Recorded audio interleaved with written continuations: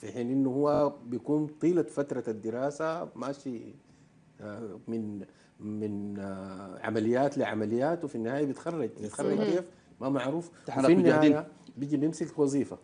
لا هو للأسف الشديد جدا إنه في المرحلة بتاعت إنك أنت في الجامعة والشباب التابعين للمؤتمر الوطني أو المسيسين اللي تابعين للنظام بصفة عامة هم ديل الناس اللي بيطلعوا مشوا يجاهدوا وبيجوا راجعين. في ناس طلبة بيكونوا قاعدين موجودين في قاعه المحاضرات ولسه ما يتخرجوا.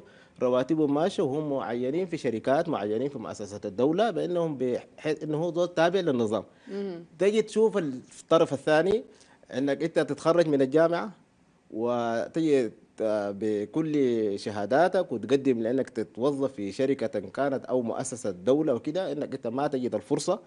تضطر تمشي تشتغل آه، بتاع موية تشتغل بتاع جرايد تشتغل ايا كان. الشغل شغلة شريفة إنك أنت ده التهميش اللي بيخلي الشباب يكون آه،. بطالة دي الوقود دي.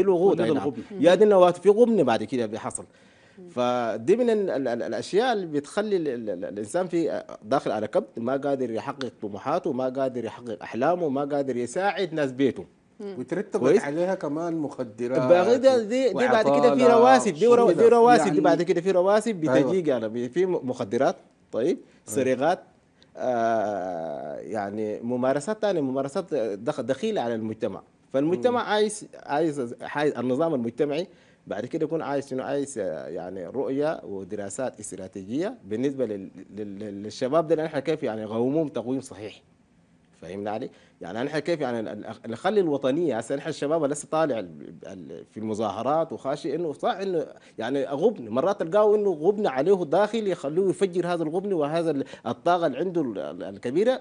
سوري عفوا. فلازم شنو؟ لازم يكون في رؤية. أنا غايته بشوف إنه مثلا لازم يكون في رؤية محددة جدا للشباب ده نحن نسوق الشباب ده للطريق الصحيح اللي نستفيد منهم نستفيد من الطاقة دي.